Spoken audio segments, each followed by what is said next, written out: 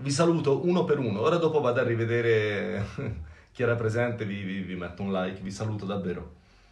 Eh, ho deciso di fare questo video, durerà circa un quarto d'ora, ok? Non di più.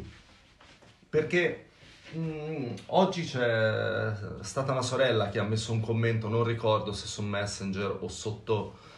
ciao Romina, ciao Rossana, sotto un post.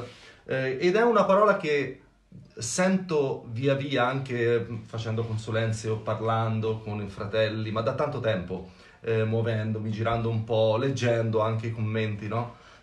quando, tante volte eh, si affronta un problema o si vive un momento di difficoltà e eh, tanti credenti eh, chiosano il discorso in questo modo. Eh, ho messo tutto nelle mani di Dio. Non so se avete mai fatto no, questa affermazione. Il mio non è un rimprovero, un giudizio, attenzione, ci mancherebbe altro. Però spesso no, sento questa affermazione. Ho messo tutto nelle mani di Dio. A volte magari ti trovi a dare dei consigli, guarda, il Signore ti promette questo, no? Questa cosa si può risolvere così, utilizza... Mm, ma io ho messo tutto nelle, nelle mani di Dio. E siccome questa è una cosa piuttosto frequente che accade e è sintomo di un problema di fondo che va risolto, ho deciso di fare questa piccola diretta per affrontare alcune cose pratiche riguardo alla fede. Lo scorso anno eh, io mi sono dedicato tutto l'anno a ehm, predicare sulla grazia. E non che non continuerò a farlo, ma la grazia è un fondamento che non si esaurisce ovviamente in se stessa. La grazia è il fondamento che fa sì che tutte le altre realtà eh, trovino il loro equilibrio, ok? Trovino la loro eh, giusta posizione. Se tu hai un buon fondamento sulla, fe- sulla grazia, eh, avrai facilità ad esercitare la fede, avrai facilità ad esercitare la speranza, avrai più facilità eh, a esercitare l'amore verso gli altri, perché la grazia è la natura stessa di Dio, è un fondamento. Però attenzione, non dobbiamo pensare che il fatto che noi siamo eh, salvi per grazia eh, esaurisca lì la nostra esperienza con Dio, ok? La grazia è il fondamento, la grazia è eh, sono le fondazioni, ok? Dell'edificio che andiamo a costruire, ma la Bibbia non dice che noi siamo salvi soltanto per grazia, ma dice siamo salvi per grazia attraverso fede. E se noi non, non troviamo questo equilibrio, rischiamo di prendere delle cantonate. Ve la spiego in questo modo. Siccome io sono salvo per grazia, allora adesso eh, Dio mi fa grazia, è tutto è per grazia, allora io non devo fare niente e tanto Dio mi fa grazia, non è così ovviamente. Ok? Non è così.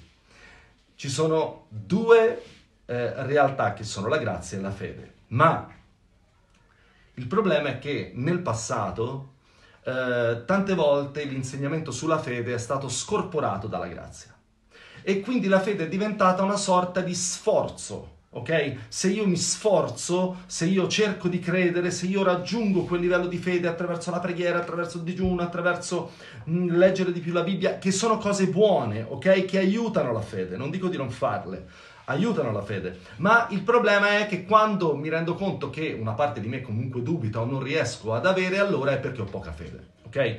E questo rischia di far sentire le persone squalificate. Invece riuscire, ascolta, ad avere la grazia come fondamento e la fede come primo piano. Immagina questo, ok? Un edificio dove il fondamento non è la fede, come erroneamente è stato insegnato. Ascoltatemi. Il fondamento non è la fede, il fondamento è la grazia, la fede è il primo piano, ok? La fede è, si costruisce, si edifica sulla grazia. Giuda dice edificate la vostra santissima fede preghi- pregando nello Spirito Santo. Lo Spirito Santo lo Spirito della grazia. Sulla grazia, sullo Spirito, sulla vita della grazia, sullo Spirito, tu puoi edificare la tua fede. E cercherò di chiarire questo, però andando a toccare dei punti pratici, ok?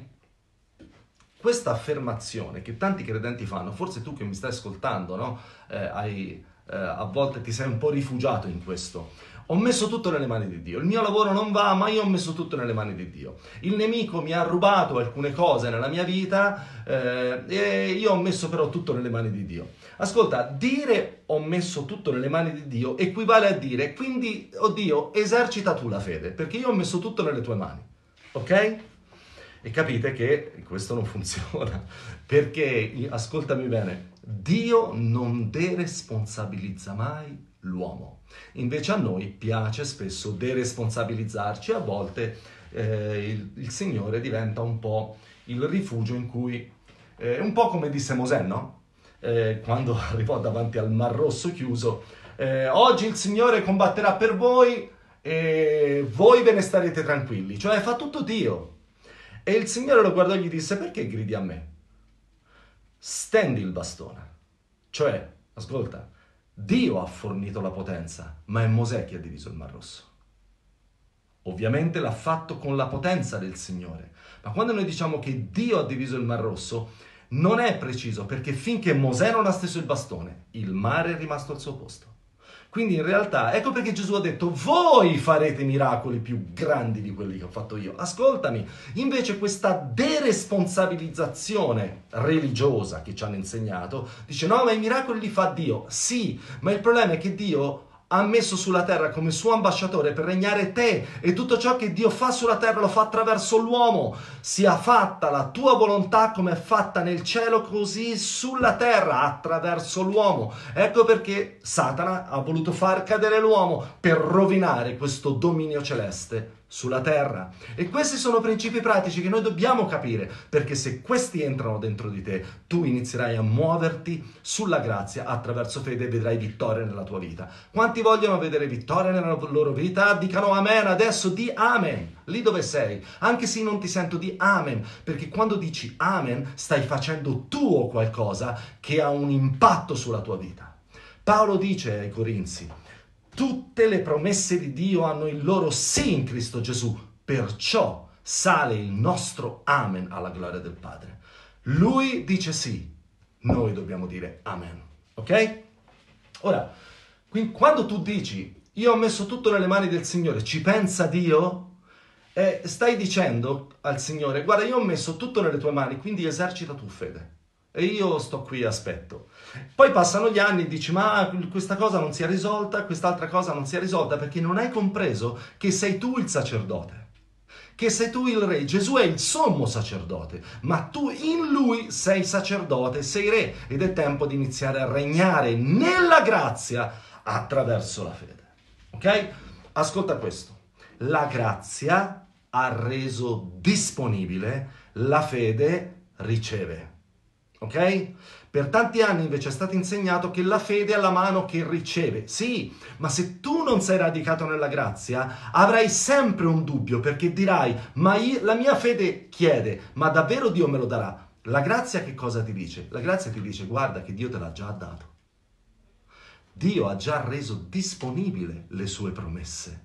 Quando Gesù ha detto è compiuto, lui voleva dire che l'opera di redenzione, di soddisfazione della legge, di liberazione dalla maledizione della legge e di ingresso nelle benedizioni della legge era stato compiuto. E quando tu hai questa rivelazione dalla grazia, sai che tu stai ricevendo qualcosa che Dio ti ha già fornito. Non te la dà quando tu eserciti fede, tu eserciti fede perché Lui te l'ha già dato. Voglio rispiegartelo. Dio ha già provveduto alla tua guarigione.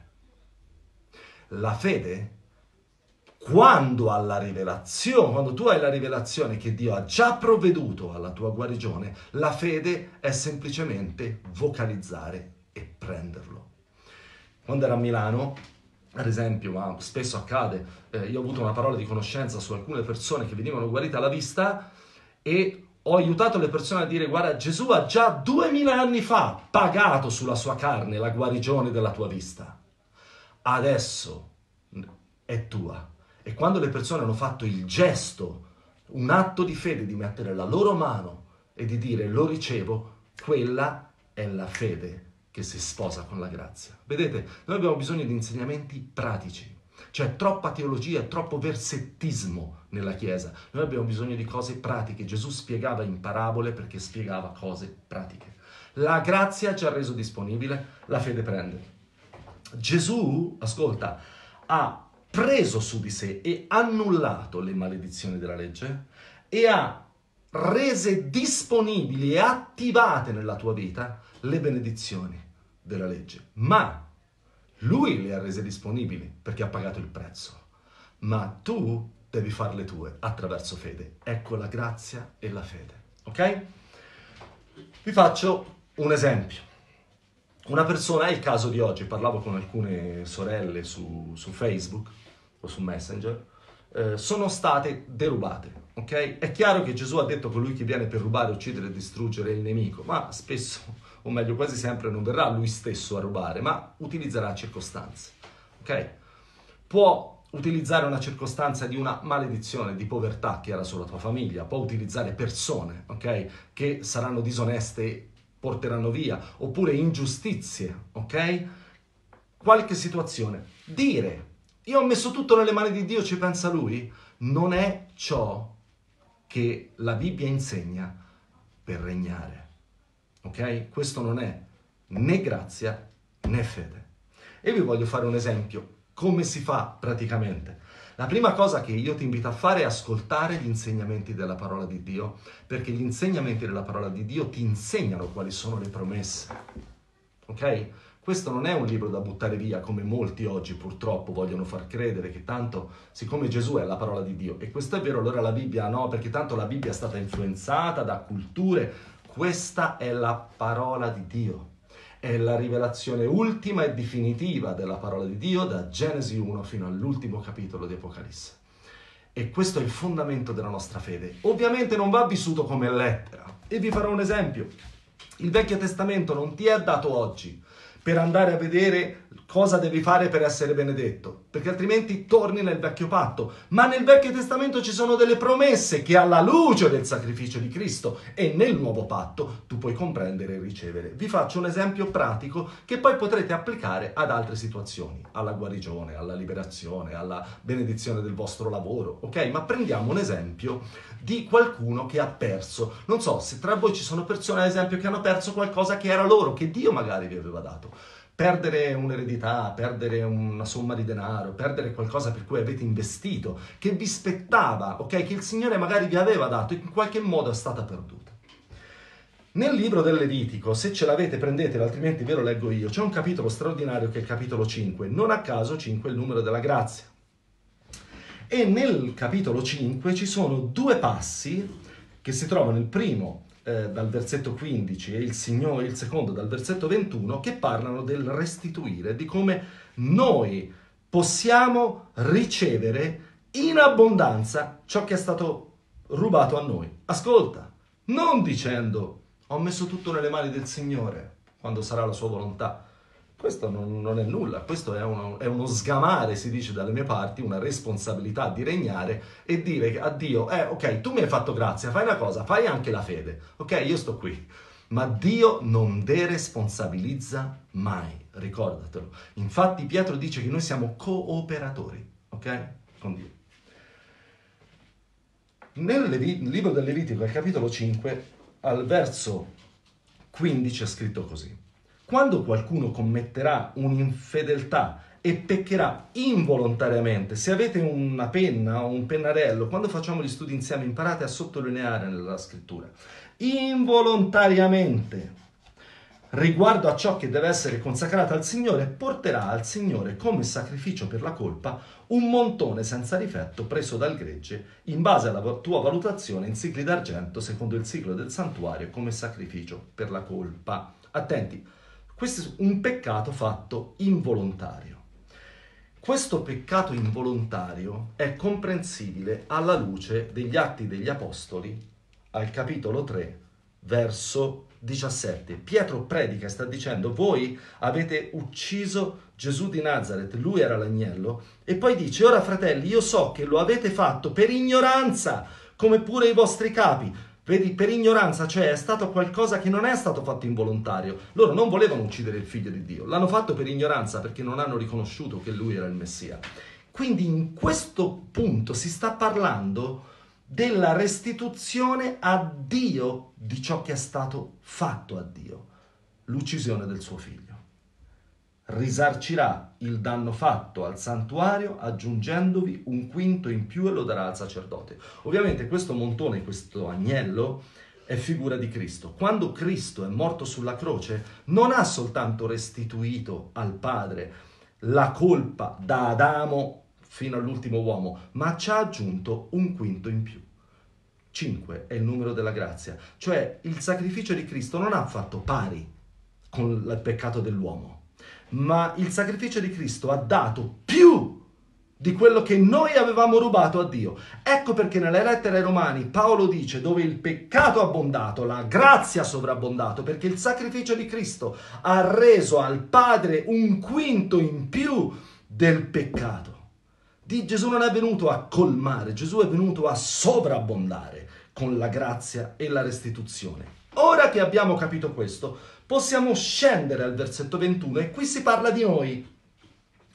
Quando uno peccherà e commetterà un'infedeltà verso il Signore, negando al suo prossimo un deposito da lui ricevuto, attenti qui, o un pegno messo nelle sue mani, o una cosa che ha rubato o estorto con frode al prossimo, ok? Stiamo parlando di perdere, di essere derubati o una cosa smarrita che ha trovata, e mentendo a questo proposito e giurando il falso circa una delle cose nelle quali l'uomo può peccare, quando avrà così peccato e si sarà reso colpevole, attenti, restituirà la cosa rubata o estorta con frode, o il deposito che gli era stato affidato, l'oggetto smarrito che ha trovato, o qualunque cosa circa la quale abbia giurato il falso farà la restituzione per intero e vi aggiungerà un quinto in più, attenti, consegnandolo al proprietario il giorno stesso in cui offrirà il suo sacrificio per la colpa.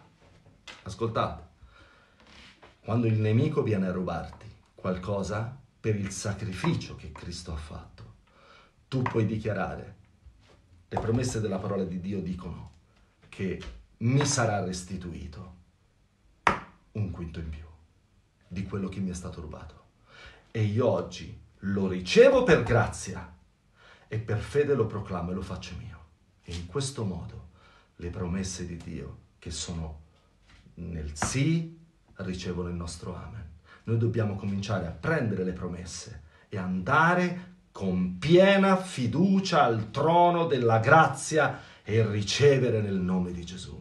Non essere spiritualisti, o meglio come si dice, eh, così credere che in qualche modo forse vuoi da qualche parte. No, no, ci sono delle promesse, io vi ho fatto un esempio, ma è una promessa che tu devi afferrare e su cui tu devi cominciare ad esercitare fede e dichiarare. Amen? Ora, un esempio di come si vede che la fede collabora con la grazia, questo è il passo più famoso, lo troviamo in Marco, nel Vangelo di Marco, al capitolo 11, al verso 24, è Gesù che parla, prenderemo solo questo versetto, ok? Quando preghi sulle promesse, ricorda però, ricorda però che il fondamento della tua preghiera, della tua proclamazione sia la grazia, poiché tu hai pagato il prezzo, poiché tu hai reso al Padre un quinto in più di quanto noi uomini ti avevamo rubato in gloria con il peccato da Adamo in poi, poiché Cristo ha soddisfatto la legge, poiché Cristo mi ha liberato dalla maledizione della legge, poiché Cristo ha versato il suo sangue, poiché Cristo mi ha riscattato dalla maledizione della legge e mi ha fatto entrare nella benedizione, su questo fondamento che è la grazia, io sono già benedetto di ogni benedizione su questo fondamento, come giustizia di Dio in Cristo Gesù, essendo io giusto in Cristo e la Bibbia dice che le benedizioni dell'Empio sono per il giusto, io oggi vengo al tuo trono, Padre, e sulle promesse della tua parola che sono nel sì e nell'amen in Gesù Cristo mio Signore, oggi io reclamo questo dalle mani del nemico, nel nome di Gesù. Amen? Seguimi. Marco capitolo 11 verso 24. Quando eserciti fede, Basta un piccolo versetto. Ascolta, in un versetto rivelato nella grazia c'è più potenza che in tutti i migliaia di versetti che tu puoi sapere a memoria. Un versetto, voglio prendertene uno. Gesù dice, perciò vi dico, tutte le cose che voi domanderete pregando, ok? Vedi? Gesù ci dice di pregare, non ci dice metti tutto nelle mani del Signore, ok? Metti tutto nelle mani di Dio e poi, boh, in qualche modo se, se o la va o la spacca. Non è questo. Eh, io dico sempre, meno proclami di fede su Facebook e più proclamazioni di fede nella nostra stanza di preghiera. Amen.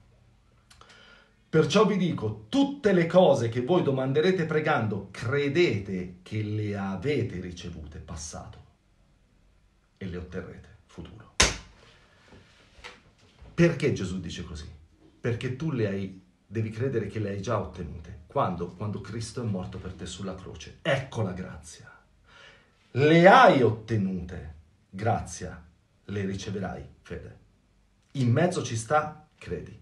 Wow! Dietro di me c'è già la risposta. Dio non mi risponde oggi, poiché Dio mi ha già dato, io posso pregare. Se non comprendi questo, tu pregherai invece in speranza, non in fede, e dirai, ora io prego e poi Dio mi risponderà. Questa non è la preghiera della fede, perché la fede è certezza e la certezza riguarda solo le cose del passato, non le cose del futuro. Ascoltami. Tu non puoi essere certo del futuro, ma puoi essere certo del passato, è vero o no? Io posso essere certo che un mese fa ero in Sicilia, ma non posso essere certo che tra due mesi sarò in Sardegna, ci sarò in fede, ma non ne posso essere certo, ok? Ma posso essere certo che un mese fa ero in Sicilia. Tu puoi avere certezza. Ebrei 11 dice la fede è certezza delle cose che si sperano. L'unica cosa di cui può essere certo è del passato. Siccome la morte e la risurrezione di Cristo, la risposta di Dio alle tue preghiere, è nel passato, tu puoi essere certo che Dio ti ha già dato. E perciò puoi ottenere. Perché puoi pregare su qualcosa che è certo perché nel passato, poiché la croce è dietro di me, io ho certezza. Non so, fratelli, se vi rendete conto delle cose che stiamo condividendo. Queste vanno a demolire fortezze e vanno ad innalzare l'opera della fede dentro di noi fondata sulla grazia. Chi attacca la grazia ruba la fede della Chiesa. Non si rendono conto del danno che fanno perché quando tu attacchi la grazia, demolisci la fede, perché la fede è fondata sulla grazia, altrimenti sarebbe speranza. La speranza è l'attesa certa nel futuro, mentre invece la fede è la consapevolezza che è, che è nel passato e ciò che è passato non può più essere cancellato. Ciò che è accaduto un'ora fa non potrà mai cambiare. Ma ciò che io aspetto tra un anno, beh, quello dipende. Ecco perché molti non esercitano fede, non hanno risultati, perché credono che prego e Dio mi risponderà. No, Dio ti ha già detto sì alla guarigione, sia alla restituzione, sia al recupero, sia alla restaurazione, sia alla liberazione, sia alla moltiplicazione, sia alla crescita, sia al fatto che tu sia la testa e non alla coda duemila anni fa. E poiché è già ottenuto, non potrà mai cambiare. La fede è fondata su un'azione del passato che è una croce su cui Gesù ha detto tutto è compiuto. Ecco perché Gesù dice quando voi domanderete pregando, credete che le avete ricevute. La preghiera della fede è questa. Signore, tu duemila anni fa sei morto e hai pagato i miei peccati. Hai preso tutte le mie malattie sul tuo corpo. Questa è l'opera che tu hai fatto, poiché tu hai preso tutte le mie malattie. Io oggi vengo su questa grazia che è già disponibile, senza i miei meriti, come giusto in Cristo. Dichiaro che per quell'opera oggi io ricevo nel nome di Gesù e ti ringrazio per averlo già fatto. Fine. Se tu togli la grazia, la fede diventa uno sforzo. Nella grazia la fede è riposo. Non solo, ti dirò di più. Nella grazia la fede è la naturale conseguenza della rivelazione della grazia. Quando tu vedi chiaramente che Dio ti ha già dato, automaticamente tu chiedi. È automatico. Quindi la fede germoglia spontanea sul terreno della grazia. Che meraviglia. E le otterrete. E finisco con questi due passi. Prima Giovanni 5:15.